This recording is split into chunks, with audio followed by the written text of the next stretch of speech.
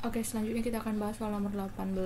Jadi kalau kita lihat di sini soalnya, perbandingan peserta UTBK Sosum dan Saintek di sebuah sekolah adalah 3 banding 5. Di antara berikut, jumlah peserta UTBK di sekolah tersebut adalah Oke. Hmm, oke, berarti di sini kalau kita lihat um, jumlah peserta gitu ya. Kalau jumlah peserta karena ini UTBK Sosum dan Saintek, berarti kita jumlahkan jumlah peserta Sosum dan Saintek gitu. Oke, kita lihat dulu uh, petunjuknya. Nah, di sini uh, sosum itu aku simbolkan dengan M gitu ya. Dan uh, UTBK itu aku simbolkan dengan K.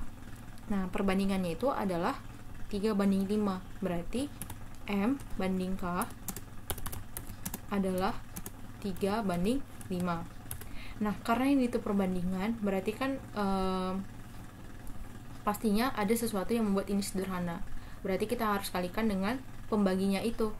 Berarti katakanlah dia itu A. Berarti M banding K sama dengan 3A per 5A nah berarti M nya sama dengan 3A K nya sama dengan 5A nah jumlah pesertanya berarti M tambah K sama dengan 3A tambah 5A berarti sama dengan 8A berarti jumlahnya itu adalah kelipatan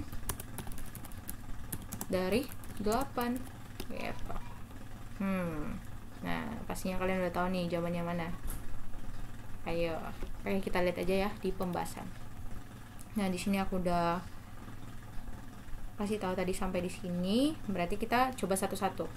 Nah di sini eh, yang nomor satu itu adalah 208 208 itu bisa nggak dibagi 8 nah ternyata bisa dibagi hasilnya 26 nah terus 235 nah kalau kita lihat di sini ujungnya saja udah 5 nah kelipatan 85 itu kan ujungnya itu kan nggak mungkin 5 kan? Biasanya itu dia genep angkanya. Jadinya bukan kelipatan 8 terus 224 dibagi 8 nah ternyata bisa dibagi hasilnya 28 terus 286 bagi 8 nah ternyata waktu kita bagi dia itu hasilnya dalam bentuk desimal. Nah ini aku buatnya itu 37, sekian sekian. Nah jadi e, kalau udah koma sekian sekian kita nggak usah cari sekian itu berapa. Karena ya otomatis dia itu bakal bersisa gitu kan. Nah gitu. Jadinya bukan kelipatan 8 jadi yang benar itu adalah satu dan tiga. Nah kalau diopsikan itu jawabannya opsi B gitu Oke, jawabannya opsi yang B.